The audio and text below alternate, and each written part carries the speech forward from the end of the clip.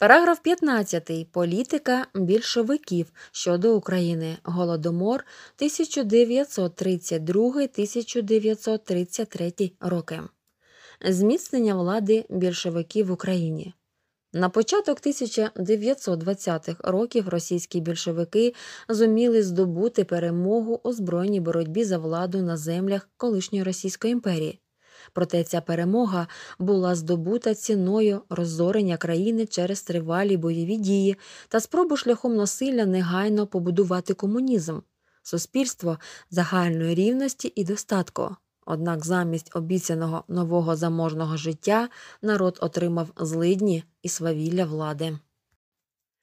Невдоволення населення спричиняло великі й малі повстання.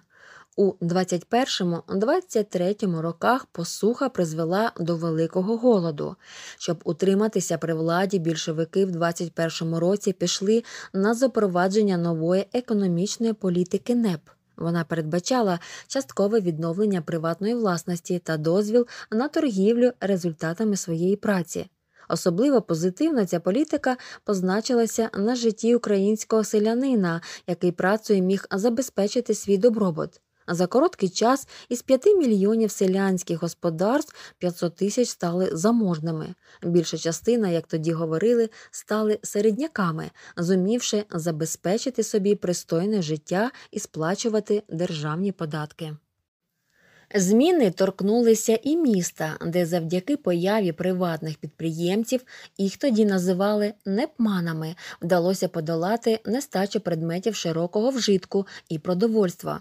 Із поверненням достатку і стираннями з пам'яті важких років війни український селянин і житель міста почали більш прихильно ставитися до влади більшовиків, яку раніше сприймали вороже або з підозрою. Крім того, більшовики розуміли, що народ їх вважає за окупантів, прагнучи укріпити владу і зробити її у сприйнятті людей своєю, вони запровадили заходи щодо українізації. Українську мову впроваджували в державних установах, школах, на виробництві, у пресі тощо. Українців призначали до різних органів влади, що правда давали не найвищі посади. Крім того, було розпочато заходи щодо подолання неграмотності населення, створювали умови для розвитку української культури. Заручившись довірою частини населення, більшовики не полишали надій на здійснення комуністичних перетворень. Першим кроком до цього стало зміцнення влади. У 1922 році, щоб остаточно прив'язати Україну та інші держави до радянської Росії, було проголошено створення Союзу Радянських Соціалістичних Республік СРСР. Людям через засоби масової інформації освіту почали активно нав'язувати комуністичні ідеї. Поступово влада зосередилася в руках однієї особи. Йосипа Сталіна. Усі, хто був не згоден з його політикою, ставали ворогами народу і підлягали знищенню. Наприкінці 20-х років Сталін вирішив, що настав час для чергової спроби збудувати комунізм, а для цього слід було модернізувати промисловість і сільське господарство, здійснити індустріалізацію. Індустріалізація створення галузей важкої промисловості, металургійної, машинобудівної тощо. Ці заходи мали бути втілені завдяки реалізації п'ятирічного плану розвитку. За цей час в Україні планувалося збудувати 400 підприємств електростанцій, серед яких 14 підприємств гігантів, що мали стати найбільшими в Європі або навіть у світі. Голодомор 1932-1933 роки репресії. Спочатку населення, натхненне пропагандою і вірою у світле майбутнє, охоче взялося за справу. Проте невдовзі стало зрозумілим, що для такого грандіозного будівництва необхідні кваліфіковані робітники, інженери, сучасна техніка, гроші. Усього цього бракувало. Тому сталінське керівництво почало ліквідувати приватну власність. Усі підприємства, магазини, дрібні майстерні, заклади харчування переходили у власність держави. Робітників примушували працювати більше, а платили менше. Селяни мали здавати державі вирощений хліб за безцінь. А щоб надалі селянство не могло чинити опір, більшовики на чолі із Сталіним вирішили їх об'єднати колгоспи. Проте селяни не бажали добровільно йти в ярмо. Вони почали вирізати худобу, щоб не віддавати в колгоспс. Було знищено 50% поголів'я, нищити сільськогосподарський інвентар. Особливо активно проти колгоспів виступило українське селянство. По всій Україні спалахнули повстання. Серед невдоволених стали популярними гасла про відновлення незалежної України. Сталінське керівництво було налякане тим, що воно може втратити Україну і вирішило раз і назавжди приборкати українців. Для придушення повстань застосували армію. Заможних селян і тих, хто не бажав іти в колгосп, назвали куркулями і оголосили ворогом, якого треба знищити. Почалось масове розкуркулення. У людей відбирали все майно, а їх самих відправляли на заслання до Сибіру.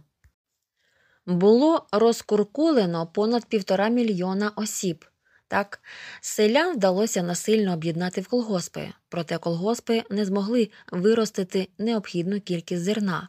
Обсяги зібраного врожаю скоротилися, а Сталін вимагав усе більше зерна для потреб армії та населення міст, що зростало. До того ж, зерно можна було продати за кордон, а на ці кошти купити необхідні для індустріалізації верстати та обладнання. Влада почала застосовувати подвірні обшуки селян, але все одно зібрати необхідну кількість зерна не вдалося. У селах почався голод. У 1932 році було засіяно лише половину полів, відповідно, не було і достатнього врожаю дві третини від попередніх років. Проте Сталін на цьому не зупинився та вдався до репресій. 7 серпня 1932 року уряд СРСР прийняв постанову про охорону майна державних підприємств, колгоспів і кооперативів та про зміцнення суспільної соціалістичної власності. Згідно з нею, розкрадання майна колгоспів прирівнювалось до розкрадання державного майна та каралося розстрілом, а за пом'якшувальних обставин позбавленням волі на строк щонайменше 10 років. У народі цю постанову назвали законом про п'ять колосків. Крім того, до України було відправлено спеціальних посланців Сталіна, які мали забезпечити вилучення потрібної кількості зерна. Забрали навіть те зерно, яке мали використати для посіву нового врожаю. А вилучення всіх хлібних запасів призвело до ще більш масового голоду. Проте на українців чекало ще одне випробування, щоб покарати їх за непокору в українських селах почали вилучати не тільки хліб, а й усі запаси їжі. Села і цілі райони оголошували занесеними на чорну дошку. Це означало припинення в цих селах торгівлі і будь-якого постачання продовольства. Селян також не пускали в міста, які забезпечувалися продовольством, та в інші республіки СРСР. В українських селах майже не залишалося шансів на виживання. Вимирали цілі села. Так влада намагалася навчити селян уму розуму, щоб вони покірно працювали в колгоспах. Однак колгоспи до кінця існування СРСР так і не стали ефективними виробниками сільськогосподарської продукції. Зрештою, СРСР був змушений купувати зерно за кордоном. Сталінська влада намагалася приховати свій злочин. Голодних селян за допомогою армії не пускали в міста та за межі України. У той час, як в Україні населення вимирало мільйонами, на цілий світ проголошувалося, що СРСР успішно будує нове суспільство і ніякого голоду немає. До кінця існування СРСР про голодомор взагалі заборонялося згадувати. Штучно організований владою голод в Україні отримав назву Голодомор. За підрахунками вчених від голоду померло понад 4 мільйони осіб. У 2006 році Верховна Рада України законом визнала голодомор геноцидом українського народу, злочином комуністичного режиму. Це рішення підтримали десятки країн світу. Не тільки селяни зазнали утисків і репресій влади. У 1930-ті роки було винищено національно свідому українську інтелігенцію. Репресії не оминули і тих, кого комуністична влада вважала своєю опорою робітників і навіть тих, хто віддано служив владі. Сталін прагнув позбутися тих, хто міг у майбутньому розповісти про його злочин.